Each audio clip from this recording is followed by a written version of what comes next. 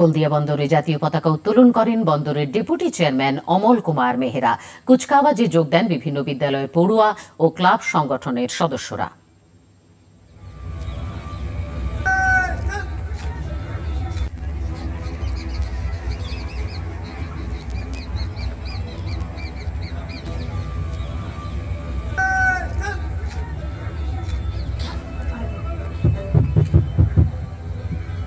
Complex.